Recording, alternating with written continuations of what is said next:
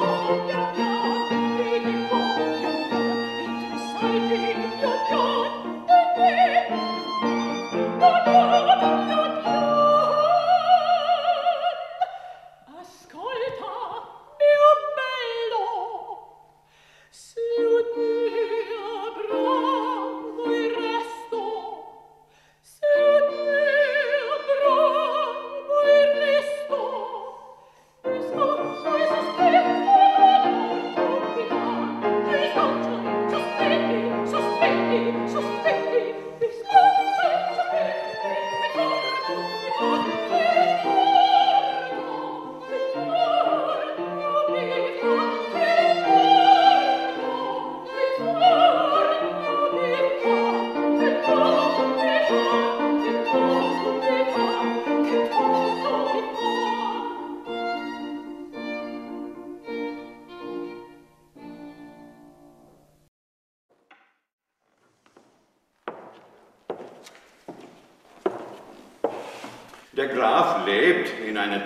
autokratischer Herrscher mit absolutistischer Gewalt gegenüber ihren Untergebenen.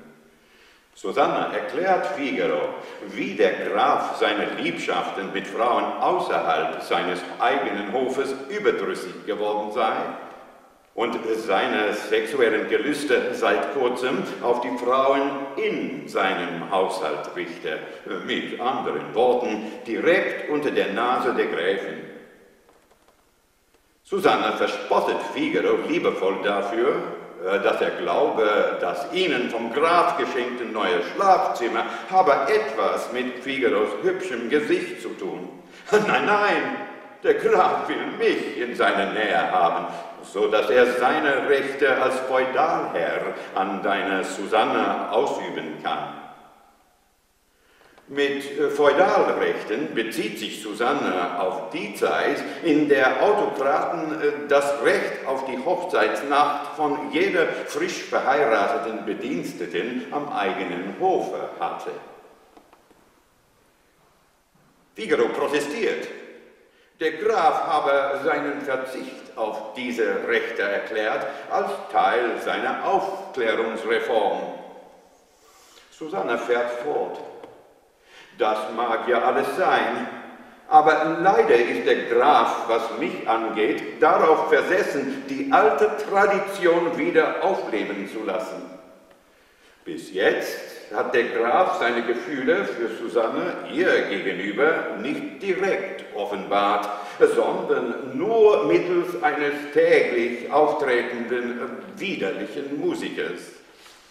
Da läutet die Gräfin aus dem Nebenzimmer nach Susanne. Figaro bleibt zurück. Endlich fällt bei ihm der Groschen. Figaro reflektiert. Das ist also der Grund, warum der Graf ohne die Gräfin nach London will. Er als der Gesandte, ich als der Sendebote, Susanna als seine heimliche Botschaftersgattin. Figaro singt. Willst du tanzen, mein lieber Graf?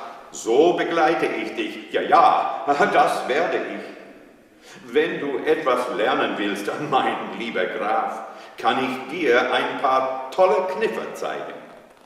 Ich weiß, wie man aber Obacht.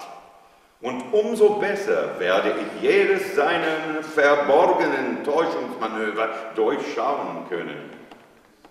Ich werde jedes Mittel, über das ich verfüge, nutzen, um ihnen die Irre zu führen. Die Kunst des Ränkeschmiedens, die Kunst der Fügsamkeit, eine spitze Bemerkung hier und da, ein fröhlicher Ausdruck. Se vuol ballare, signor Contino, il chitarrino le suonerò. Se vuol venire nella mia scuola, la capriola le insegnerò.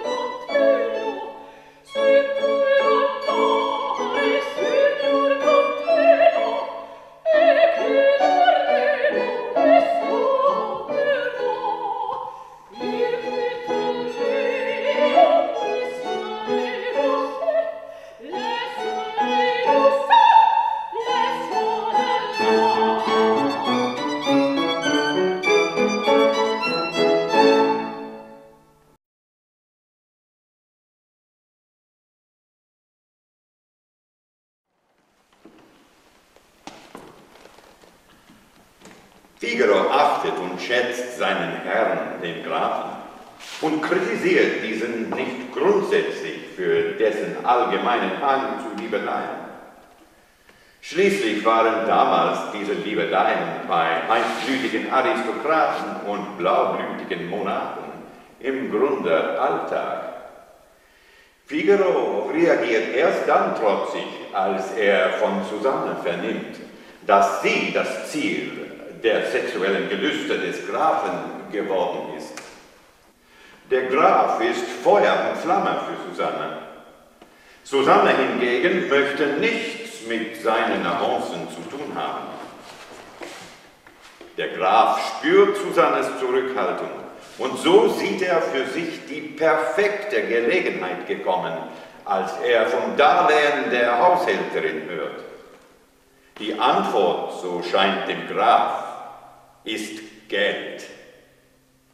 Über den schmierigen Mittelsmann lässt der Graf Susanne wissen, dass er ihr eine erhebliche Mitgift geben wolle.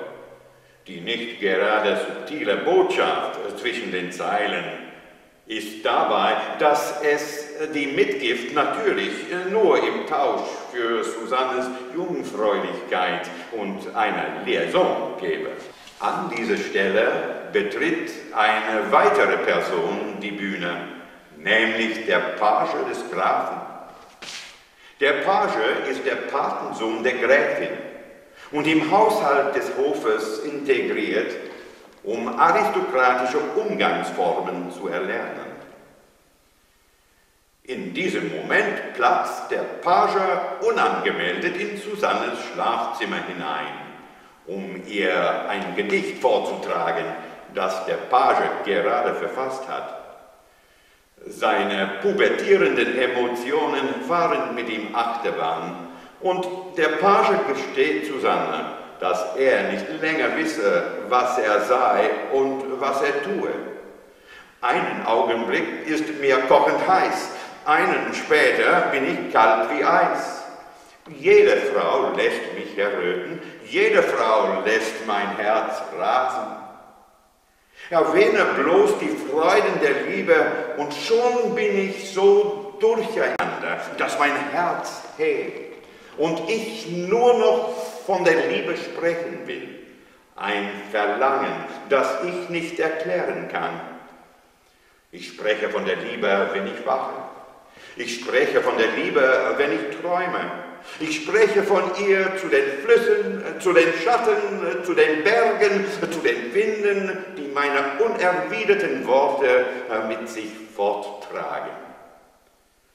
Und wenn nichts oder niemand mich hören kann, so spreche ich von der Liebe zu mir selbst. Non so più cosa son, cosa faccio, ora di fuoco, ora sono di ghiaccio, ogni donna cangiar di colore, ogni donna mi fa palpitare.